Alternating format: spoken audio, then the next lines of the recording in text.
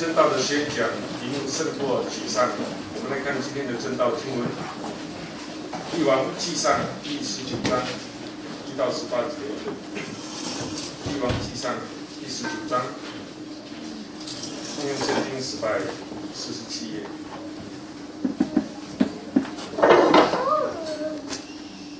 《帝王记上》第十九章一到十八节。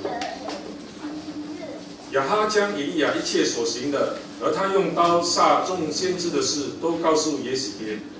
耶洗别就差遣人去见以利亚，告诉他说：“明日约在这时候，我若不使你的性命像那些人的性命一样，愿神神明重重的降罚于我。”以利亚见这光景，就起来逃命，到了犹大的别斯巴，将仆人留在那里，自己在旷野走了一天的路程。来到一棵罗藤树下，就坐在那里求死，说：“耶和华罢了，求你取我的性命，因为我不胜于我的业主。”他就躺在罗藤树下睡着了。有一个天使拍他说：“起来吃吧。”他观看头旁有一瓶水，而炭火烧的饼，他就吃了喝了，仍然躺下。耶和华耶和华的使者第二次来拍他，说：“起来吃吧，因为你刚走的路甚远。”他就起来吃了喝了，仗着这饮食的力，走了四十昼夜，到了上帝的山，就是何烈山。他在那里进了一个洞，就住在洞中。耶和华的话临到他说：“以利亚，你在这里做什么？”他说：“我为万军。”我为耶和华万军之上帝大发热心，因为以色列背弃了你的业，毁坏了你的坛，用刀杀了你的先知，只剩下我一个人，他们还要寻索我的命。耶和华说：“你出来，站在山上，在我面前。”那时，耶和华从那里经过，在他面前有烈风大作，崩山碎石，耶和华却不在风中。风后有地震。耶和华却不在其中，地震后有火，耶和华也不在火中。火后有微小的声音，以利亚听见，就用外衣蒙上脸，出来站在洞口，向啊有声音向他说：“以利亚，你在这里做什么？”他说：“我为耶和华万军之上帝大发热心，因为以色列人背弃了你的业，毁坏了你的坛，用刀杀了你的先知。”只剩下我一个人，他们还要寻索我的命。耶和华对他说：“你回去，从旷野往大马色去，到了那里，就要高哈谢为亚兰王，又高呃明氏的孙子耶户做以色列王，并高亚伯米拉、亚伯米赫拉人沙法的儿子以利沙做先知，借系你，将来躲避哈谢之刀的。”必被耶户所杀，我必耶户知道的，必被以利沙所杀。但我在以色列中为自己留下七千人，是未曾向巴利屈膝的，未曾向未曾与巴利轻举的。我们这次就请林传道来证道。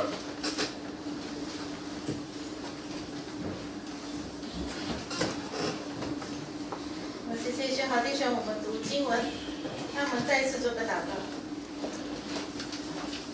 天父主啊，我们再次向主献上感谢，因为你赐下你的话语来教导我们每日的生活。今天早上在这里的时候，祈求您不断的来关照，让我们听到你要我们听到的信息。祷告奉靠主耶稣圣名所祈求的。曾经新闻有好几年前啊，有这样的一个报道，它是这一个报道呢是有关英国的学校，它的标题是。Happy lessons for school，什么意思呢？这篇报报道当中呢，就提到有一位政府的这个 advisor，他的顾问就建议学校的课程要设一个课程叫做快乐课程。快乐课程，什么是快乐课程呢？为什么需要这个课程呢？这课程是教导学生怎么样子去处理他们的情绪，在工作上，在金钱上要常常保持一个。快乐的态度就是要教他，他们常常心中会有负面情绪，怎么样子去处理？为什么有这样的一个需要呢？原来在英国，十二岁，十二岁，OK，十二岁以下的孩童当中，大概有百分一百个人当中有两个哈突破现在学生患有忧郁症，十二岁以下，百分二有忧郁症。中学当中学生当中呢，一百个当中就有五位哈，一百位当中就有五位患抑郁症。所以他们希望可以设立这些课程，帮助学生面对或者是胜过一些沮丧的这个情绪。其实很真实的不愉快的事情发生，当然就会导致不愉快的心情。当这些的心情情绪没有被处理的时候呢，就很容易导致有一个沮丧的心情，就是很 depressed。常常我们有听到学生或者孩子说很 depressed。这些沮丧的心情，若是严重或者长久没有处理的话，就会导致一个症状叫做忧郁症 （depression）。是比较严重的。那么有人称说沮丧呢，它很像是一种的感冒，是情绪上的感冒。感冒是每个人都会有的，有都会遇到的。每个人偶尔都会得到感冒，包括基督徒哈。甚至这种情绪的感冒，圣经当中告诉我们，连伟大的先知都得了。伟大的先知也会有沮丧的时刻。今天早上我们读的这个以利亚就是这样的一个例子，他也面对沮丧。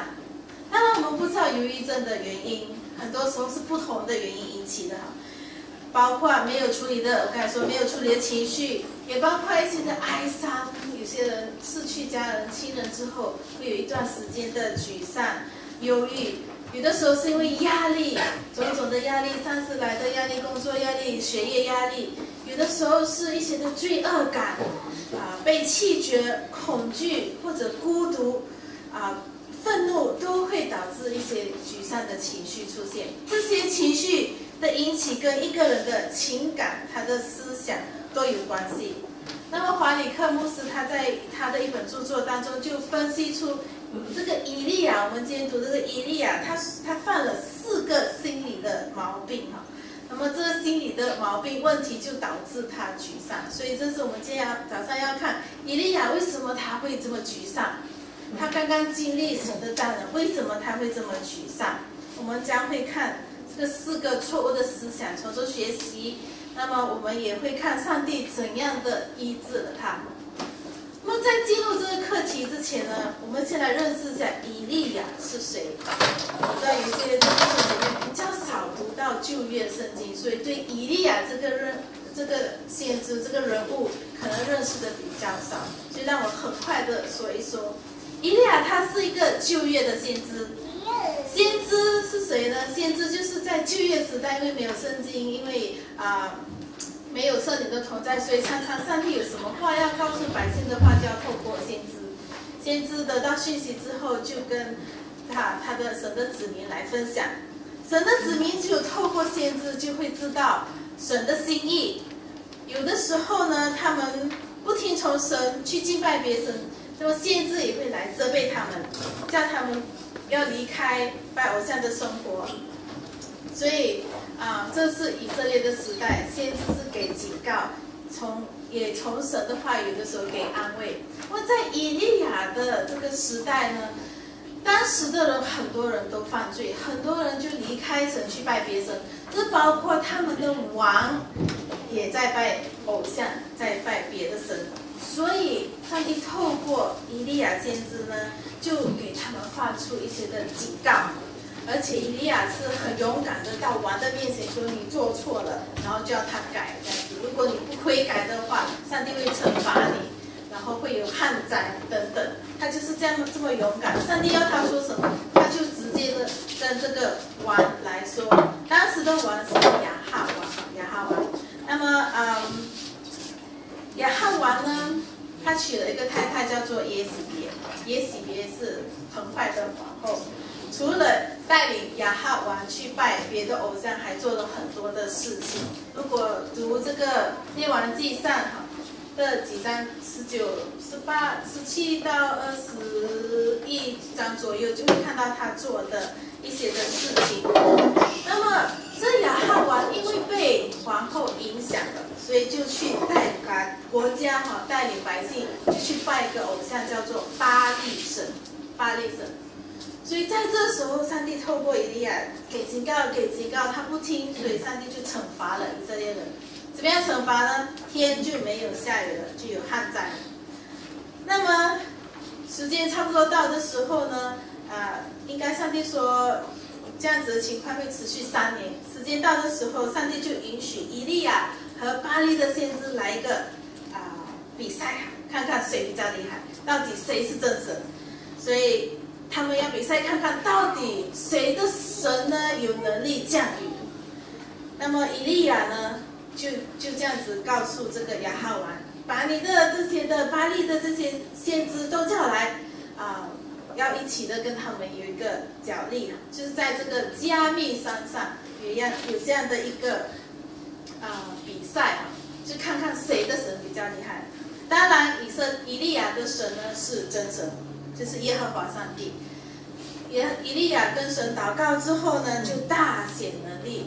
在这个山上的事情呢，大家也要自己看，因为在这里讲的话会讲很久。基本上就是啊，以利亚要巴利神啊，巴利拜巴利的这些人哈，他们的先知献祭的时候，叫他们的神降火，他们喊了一天没有火降下来。那么当伊利亚上来的时候呢，他还叫啊其他的人说：“你把水更多的水浇在这个祭坛上。”在这个过程之后呢，这个都是世事的祭物之下呢，他在祷告神就降下火，把这些祭物都烧掉了。所以就看到以以利亚所敬拜的神是何等的伟大，充满能力。那么你在想，以利亚他遇到这样的一件事情之后。应该是对神充满信心，因为他刚刚祷告神，上帝就降火把这些祭物都烧掉。然后还有一件事情，就是在这个之后呢，以利亚就祷告神，祷告神，祈求神降雨。那么啊，真的过了不久，雨就降下来。所以你在想，他经历了这么大有能力的神，应该是对神充满信心。但是很奇怪的是。这件事发生之后，我们就看到以利亚竟然抛下他的仆人，自己跑到旷野去，而且他的心情是怎么样？他是很愁苦的，他是很沮丧的。为什么我们会知道呢？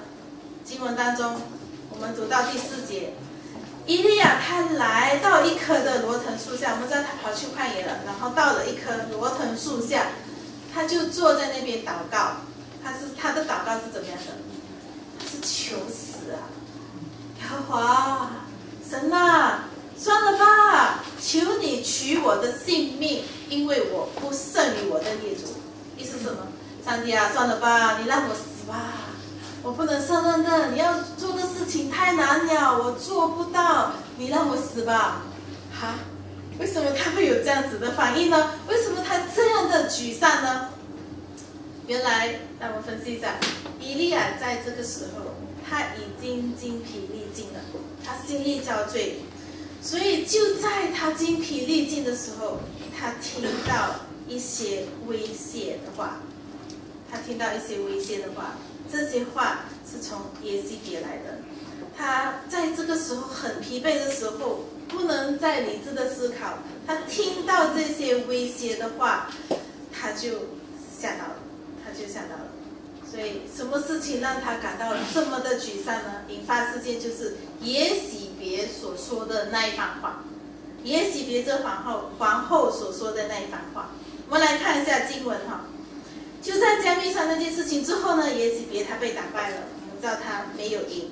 那么第二节他就说到，耶喜别差遣人去以见以利亚，他派一个仆人去见以利亚。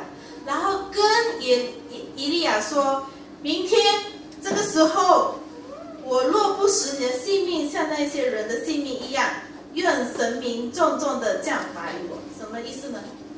明天这个时候，我看你不会死啊，才怪！明天这个时候，你必定死。伊利亚他在这时候听到这样的话，就吓到了。第三节说。他看见这光景，就起来逃命。他听进去了，话他听进去了，然后他就逃命到犹大的别是巴，然后把仆人留在那个地方，自己再到旷野去。为什么伊利亚逃跑？他跑是因为他怕。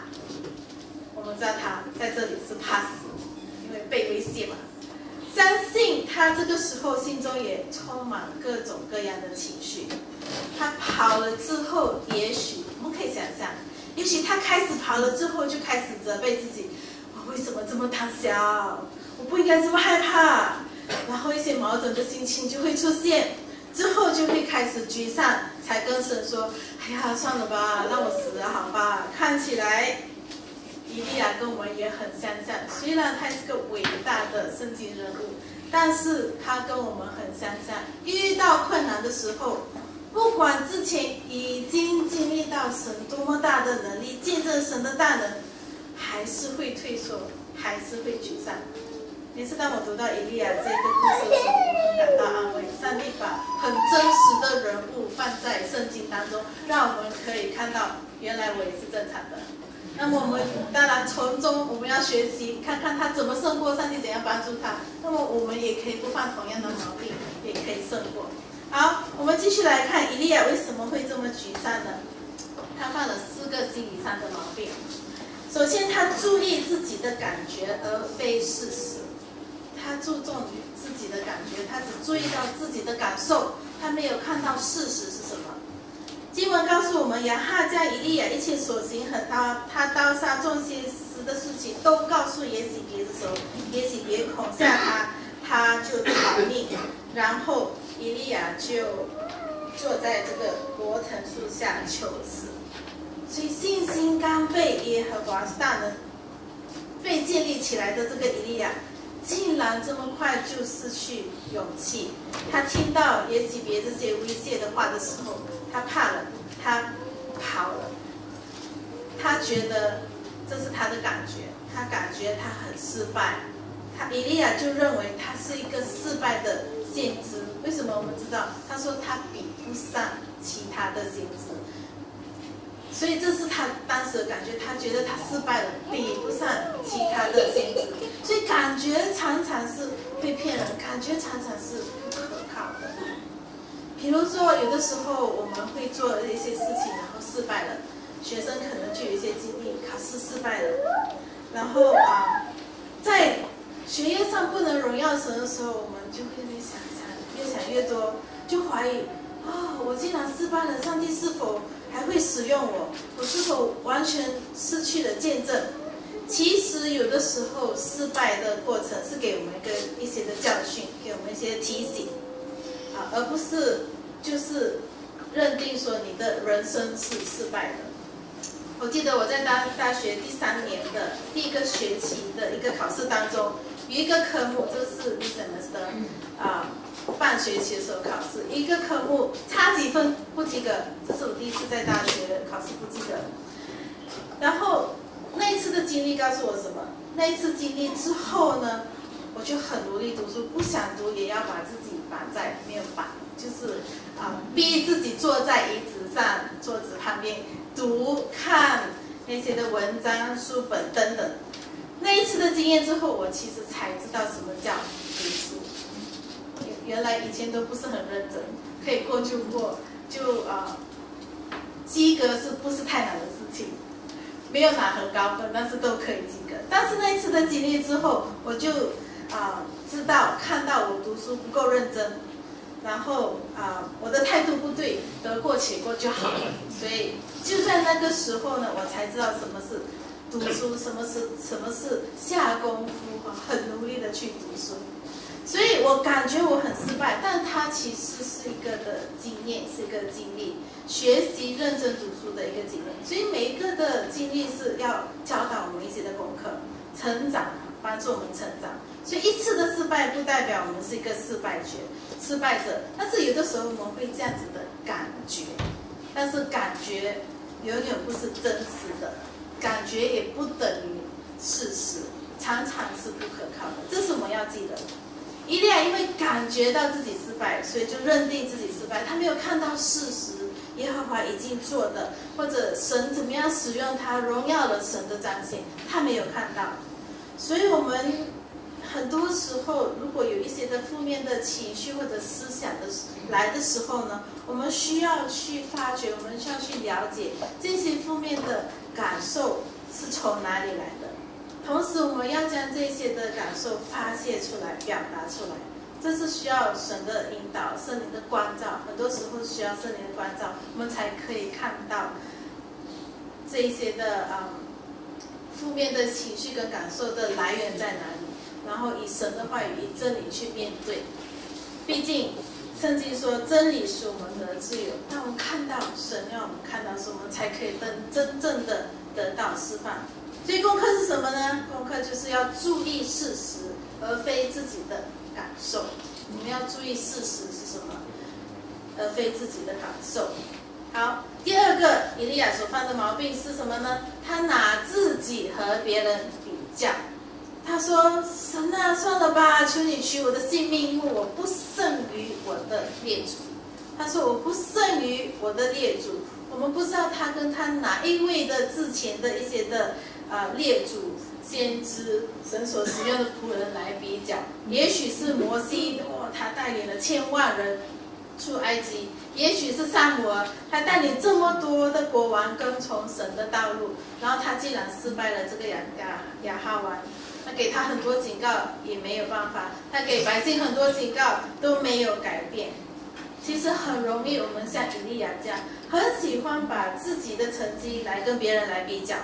事业的成绩，侍奉的成绩，常常忘了上帝给我们的恩赐各有不同，在每个人身上的旨意各有不同。别人的短处可能是我们的长长的，我们的啊长处等等，我们是要彼此彼此的来配搭。但是很多时候我们会去比较，一比较之后呢，当然心情就不好啦。不知道有没有跟大家分享？我觉得我有跟大家分享过啊一个经历，这是很我一直会记得的，就是在大学的时候，在大学的时候考试成绩有的时候是贴在那个 lecturer 老师的啊他的办公室外面的一个布告板上，于是我就去看，很怕不及格，看到我的名字后面是 C，我我们我们那时候是 A B C，不是可以定的 C，C 是刚刚好你 pass 就是 C 哈。我及格了，很开心。然后再去看一下同学的，哦，他拿 B，B 加 A 减，心里开始不平衡，觉得哎呀，我实在是很笨，立刻就很沮丧。所以这是我们的问题，有时候喜欢跟人家比较，那么看到别人比比较好，看到别人有比较好的待遇，他们的工作又轻松，工钱又高。就觉得自己命不好，上帝可能不爱我，甚至有些人会这种，呃，会这种的想法，所以不要跟人家比较。另外，我们会掉入的一个陷阱，就是给自己贴一些的表情，比如说什么呢？比如说，啊，有些人会说：“哎呀，我做了一件事情，啊，失败了，哇，我真的是一事无成。”就把自己认定是做错了一件事情之后就一事无成，其实不应该是这么说，应该是说，哎呀，我做错了一件事情，下次会做得更好，下次会改进，而不是就认定自己一事无成。有的时候我们啊，不说，哎呀，我很很赶哈，很赶时间把公事包给忘了，放在家里，反而我们会给自己贴标签说，哎呀，我是大头虾啦，什么都做不好。大家有听过大头虾？就是很了，就是很啊懵懵懂懂，总是忘记事情。有的时候我们不说，哎，我吃东西没有自知啊，我要改变，决心要改变。我们有的时候喜欢给自己贴标签，哎呀，反正我是猪了，越吃越胖了，这是给自己贴标签，这是我们不应该做的事情。所以这些是陷阱，我们常常对自己很苛刻。所以要对自己好一点，不要拿自己来跟别人比较，也不要给自己贴标签。这样子的话，我们会越来越沮丧。好，伊利亚所犯的第三个错误是什么呢？他对一些负面的事件哈，他觉得都是他自己的责任，他担起不实的责备，就是对自己哈，应该是呀责备或者是责任。实际上不是他犯的错，但是他却觉得是他问题在于他。第十节他说：“我为耶和华万军之神大发热心，因为以色列人背弃了你的约，毁坏了你的坛，用刀杀人的先知。”意思是什么呢？很努力的工作三年了，可是这些人不但没有离弃偶像，没有亲近你，他们也没有认定主你是神。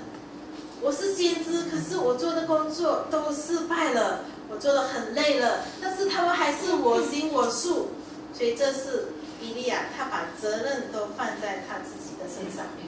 在沮丧当中，他责备自己不能改变这些的以色列国的百姓，他把责任都推在自己的身上。所以第三个造成沮丧错误，就是担起不实的责备，他担当了他不应该担的责任。那么我们很多时候也砍了很多神没有要我们砍的责任，比如说你要帮助一个人，可是他没有照你的方式来回应你。你就觉得说，哎，责任在于你。比如说，你希望你的孩子，或者是你小组的组员，可以啊，更加的追求神的话语，可以更深入的来查考圣经，可以更晋升自己的灵命。所以你给他们查经材料，你给他们灵修书籍，你给他们圣经活动，但是始终他们不愿意花时间来阅读圣经的话语，然后你就认为自己失败了吗？很多时候我们会这么很容易这么认为，觉得是自己没有做到。可是很多时候选择在于人，选择在于人。神给每一个人自由意志，我们不应该为他别人的决定来承担是我的责任。一些的决定是在于别人，尤其是你如果带孩子的话，孩子已经长大了，他所选择的事情，他要负起责任。不要把全部责任都放在自己的身上。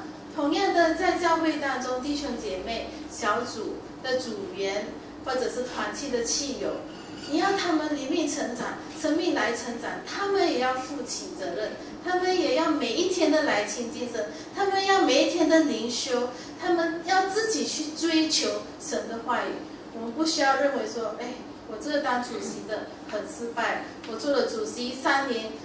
弟兄姐妹，你并没有成长。当我们这样子讲的时候，我们就跟以利亚一样的，把不属于自己的责任就砍起来。很多时候不是神要，神没有要我们砍这些的责任，因为追求是人的责责任，同时改变人心的是神的工作，圣灵改变人心。可是我们很多时候心很急，认为只要我们说一两句话或者做什么样的举动，他就会改变。我们就太看重自己。当然，意思不是说我们不去鼓励、不去做，神还是要使用我们去鼓去做提醒的工作。但是最终又要做出改变的是神他自己，他圣灵在一个人的工作，还有那个人自己愿意付出多少。所以很多时候不要。背很多的黑黑锅哈，不属于自己的责任就不要扛。我们要认识到自己的有限，只有神是大能，所以我们要依靠神。第四的第四个错误也，这个伊利亚所啊犯的错误就是他把这个负面夸大了，他负面的情况夸大了。第十节说，只剩下我一个人了，他们还要我的命。都没有其他先知了，只剩下我了。然后他们还要我的命，感觉是哦，每个人都要我的命。其实不是每个人都要伊利亚的命，也不是只有他剩下他一个人。其实只有一个人跟以利亚作对，就是耶洗别王。当然亚哈王是听他的啦。然后他的威胁其实也是虚不其实的。如果这个王后以西别耶西别真的要杀伊利亚的话，你说他需要派一个人去警告他吗？不需要，就派一个人去把他杀了就好了，对吗？没有想，因为那时候他不能想了，所以啊，他那时候太害怕，而且因为之前经过的一些的情况哈，所以他已经不能够静下心来思考，也不能够静下心来衡量这个耶西别所说的话到底真不真实，所以他逃跑跑了。所以人在沮丧的时候，人在沮丧的时候是很容易把问题、把事情、把这个负面的事情夸得很大，这个问题大的不得了。不能走出去，很惨呀，没有希望了，世界末日了。有的时候会觉得啊，这世界就是这样子结束了。但实际上，我们从经文看到，以利亚不是唯一对神忠心的先知，但是还有多少个先知是他看不到，因为神把他们藏起来。上帝说他藏了七千位啊，七千位了。所以还有七千位从未曾向巴利屈膝的，未曾与巴利亲嘴的先知，就是还没有拜巴利的先知，还有七千个神保守。所以很多时候，我们如果感觉到疲惫的话、沮丧的话，会把问题放得很大。有的时候我们会听到啊这样子的说话，一个姐妹在很沮丧的时候这样子说：“为什么教会都没有人侍奉？”为什么什么事情都要我去做？一个人累的时候，这是我们会听到的，甚至自己有说过。可能他希望组员可以多付出一点点，参与侍奉。但是事实的确哈，他的小组的弟兄姐妹还在学习当中，还在成长阶段，还不在不成熟的阶段，所以还在学习。有一些事情上不愿付出，所以这位姐妹她侍奉的心被影响了，因为她没有看到。她希望有发生的事情，就是主员每一个人都很全力的去服侍。实际上，教会里面已经也有很多弟兄姐妹一起的来服侍，可是她也看不到，觉得哦，一切都是我好，就是啊，要靠我这样子的感受。其实，实际上，这姐妹她已经给他的组员们立下很好的榜样，他们已经在很小事情上开始学习服。付出，付出，开始学习服侍。但是人在沮丧的时候，很容易，很容易就把负面的这个情况夸大。事情没有这么糟糕，但是他看得很糟糕。所以我们要学习的功课是什么呢？就是不夸负面，不夸这个负面的情况。那么我们看到以利亚犯了这四个毛病，但是。上帝怎么医治他呢？从这个经文看到，看到上帝医治了以利亚，他他带领以利亚走出，然后胜过这个沮丧的情况。他很快的进入，我们看到，但是神也把他引出来。从经文我们发现，在整个的过程当中，上帝没有做一件事情，在整个过程当中，上帝没有责备以利亚，有没有看到？上帝没有责备以利亚，上帝怎么做？他供应以利亚基本身体上的需要。首先，上帝为以利亚预备食物，有水，有饼。上帝派一个天使来陪伴以利亚，提醒以利亚你是不孤单的。上帝透过两次哦，两次透过这个天使来鼓励以利亚，给他东西喝，给他东西吃，然后让他睡。然后让他一直睡，他睡很久哈，因为他需要休息，所以这样子的话呢，他就可以恢复体力，也可以重新得力。因为以利亚在沮丧的时候，他英文讲 hungry, angry, lonely, tired。英文有一个字 H A L T A L T 的意思就是停，halt 就是停。所以在这时候，他饥饿，因为他停止进食，他愤怒。他感到 angry 很生气，因为他抱怨神不眷顾他，他向神发怒。他也感到 lonely 孤独，他远离他的仆人，他独自的前行。然后他感到疲惫，体力崩溃，沉沉入睡。任何人在这时候感受到这些强烈的组合特征的时候，就是当他当一个人感到很很饿，然后很生气，然后很孤单。然后又很累的时候呢，在这个时候，一个人的心是比较脆弱的，容易脆弱。然后继续发展的话呢，就会变成忧郁症，就会呃成嗯发展为某些形式的这个忧郁症。所以身心灵疲惫，人容易沮丧。这样子的话，我们就要我们需要注意的，如果觉得自己很沮丧，要注意就是健康上的需要是重要的，健康上的啊补足是很重要的。比如说饮食要好，睡眠要好，要有运动，要有休息，要有放松的时间，要有旅游的时间。就算是学生们面对考试，很多功课要赶，你觉得你是做不完；很多考试要读，你觉得你没有时间读，都要照顾好自己的身体，要吃的对，要有要喝水，要有足够的睡眠，不要每一天只睡两个小时，然后一个礼拜不睡觉，肯定会崩溃，肯定会崩溃。然后要有给自己时间运动，可能需要出去打打球、散散步、走路、放轻松，这些都是很重要的。上帝也会供应我们这些的基本的需要，问题是我们要不要接受。所以，上帝怎么样医治以利亚？他供应了他基本身体的需要。上帝呢，也引导帮助以利亚可以倾诉他心中的感受。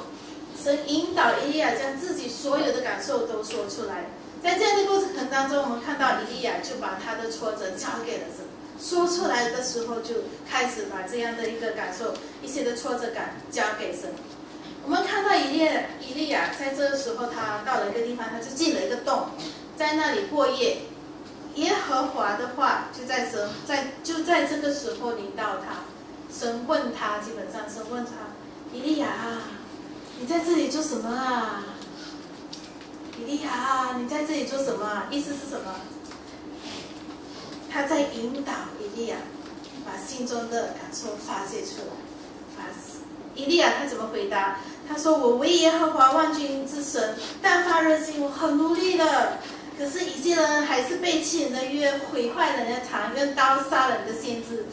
剩下，现现在剩下我一个人，他们还要我的命。”随神引导一定要把他心中的感受都说出来，很真实的感受都说出来。我们看到他有害怕，我们看到他有怨恨，什么受过了。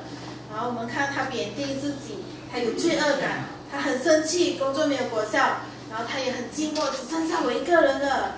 他也担忧自己的生命的危险，所以神让他尽情的倾吐他心中一些的感受，让他讲，让他讲。其实这是神要我们做。当我们心中有任何情绪、负面的感受的时候，上帝要我们很坦诚的来到他面前，将我们心中的感受跟他说。我们不需要在神面前戴个假面具，我们不需要在神面前来隐藏自己的感受。生气就生气，说跟神说我很生气，我很失望，我要哭了等等。其实圣经当中有很多这样子的例子。以利亚是一个例子，但是诗篇有更多这样子的例子，我不知道大家有没有注意到。诗篇诗人说：“呀，华，要等到几时呢？要等到几时呢？我才可以脱离我现在的状况。”诗篇的前面几篇啊，第六篇啊，第二、第二还第三篇，就很多次出现。哇，我要等到几时呢？很坦白的跟神讲。诗篇是十篇，在患难的时候。这个诗人问神哈，在患难的时候，为什么隐藏起来呢？我很苦的时候，你为什么躲起来？我找不到你，这是很坦白的跟神讲他心中的感受。然后诗篇七三篇，七三篇，为什么你让这些恶人得逞？很坦白的感受跟神来讲，所以这是我们要学习诗人的。当我们把心中的感受、负面感受吐出清楚之后呢，神也会帮助我们慢慢把这个。目光眼目哈转移到神的身上。很多时候我们读诗篇的话，你会看到，当他们向神发泄之后呢，他们最终会说什么？耶和华是慈爱的，耶和华是伟大的，神你是大能的，等等，就是看到神是一位怎么样的神。所以这是我们需要学习在思想上的改变，学习在思想上啊来改变，以致我们的情绪不到不受负面的。这个思想影响，而是让正面的思想影响我们的情绪。那么有的时候是需要刻意，除了清楚哈，跟神说出我们心中的感受，我们也要刻意将我们的思想从负面转到正面。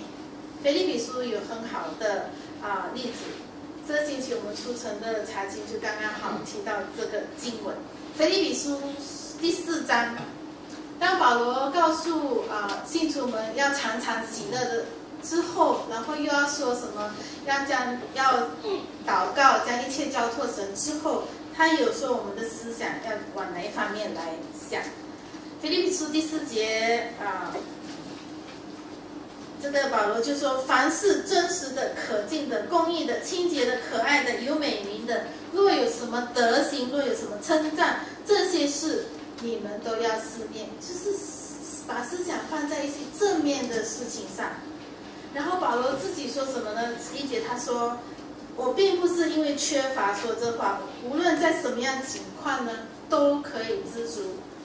这是我已经学会的。’”我知道怎样处卑贱，我也这样子，我也知道怎样处丰富或饱足，或饥饿或有余，或缺乏，随时随在，我都得了秘诀。他已经看透了。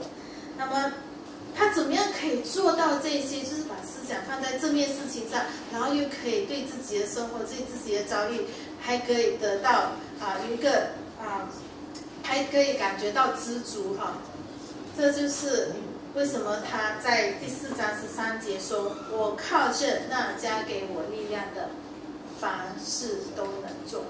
我靠着那加给我力量的，凡事都能做。”很多人误用这个的经文，觉得说我靠近那加给我力量的，凡事都能做，所以我要做什么，神给我力量，我必定做得到。但是这里的经文主要提到。尤其是在思想上，我们觉得胜不过的时候，上帝给我们力量胜过，上帝给我们力量胜过。所以，我们很多时候经历到一些事情让我们很沮丧的时候，记得这几个经文，把思想建立在正面的事情上，看那些好的，呃，什么啊，可敬的、公益的、清洁的事情上，然后看到神的作为，然后靠着神的力量。我们就知道我们做得到。其实思想上的那个挣扎是最难克服的，但是保罗竟然说靠着神给我的力量，我什么都能做。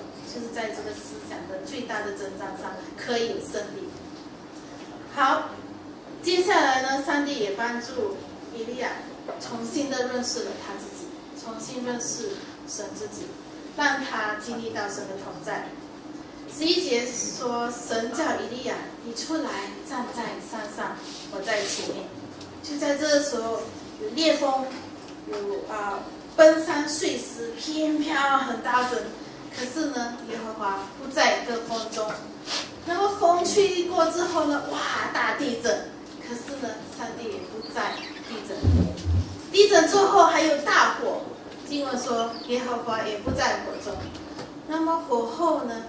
有一个非常微小的声音，非常微小的声音，就在这时候，伊利亚他听见了，然后他用外衣蒙上他的脸，就走出来，站在洞口，因为他知道这是主，这是神。他这时候经历到神，他在这个时候经历到神，跟之前的经历是不一样的。之前在加密山的经历是轰轰烈烈的。哇有大火来，求火就有火，求雨就有雨。但是在这里，他再次的认识到神，神以微小的声音向伊利亚说话，所以微小的声音提醒伊利亚：“我还是在这里，还是陪伴着你。”伊利亚需要的是再次把他的眼目转向神，再次依靠神的大能。神的力量，而不是靠自己的能力。今天你如果觉得你的心离的神很远，听不到神的声音，不妨到一个比较安静的地方，也许是公园，也许是河边、海边等等，到郊外坐下来，安静的、单独的与神来亲近，读神的话语，让神的爱来充满你的心。让神再次向你说话，让神他自己来满足你心中一切的需要。也让你再次感受到他的同在。很多时候我们需要刻意的，尤其是你有一些的经历之后，回到神面前，然后思考一下，在这个过程当中，你认识了神，新的有什么新的体会，有新的经历，神在你生命的工作，我们需要重新认识神在我们生命，他与我们同在。我们也需要最后让神来指引生命的新方向。所以，胜过沮丧的第四个方法就是让神来指引生命的新方向。神告诉以利亚：“你回去，从旷野回到大马士革去，到了那里就要怎样怎样，又要怎样怎样。”神给以利亚新的任务，然后他派他回去工作。所以，胜过沮丧一个方一个方法就是停止自己在那边。哎呀，我很可怜啊，我很惨啊，怎么办呢？我要死了。不是停留在那个地方，而是将眼光从自己身上转到别人的需要，然后在服饰里面继续接触人的生命，付出关怀，然后神借眷里面赐福给他们。很多时候，上帝是这样子帮助我们走出、胜过我们的啊这些负面的感受，尤其是沮丧。所以。我们要仰望神，要依靠神，让神来改变，让神给我们力量去做改变，有新的生活目标，看到新的这个生命的意义，就可以重新得力。这些力量是从神来，靠我们自己真的是不能，靠我们自己真的是不能。所以我们要依靠神，求神不断的来更新我们的心意，来改变我们的思维方式，以致我们不这么容易就陷入沮丧的。这个状况要克服沮丧，一定要纠正一些的态度跟思想，就求神给我们去啊力量去面对。所以很快的总结一下，功课就是我们要注意事实而非感觉，不拿自己和别人比较，不当不属于自己的责任，不夸负面。这样子的话就不会这么容易陷入沮丧。如果真的是这样陷入沮丧的话呢，我们要。啊，求神供应我们基本身体需要，我们接受神所给我们的供应。我们要学习向神来倾诉所有的感受，心中一切的感受，重新的来认识神，让神来指引我们生命的新方向。我们一起来祷告。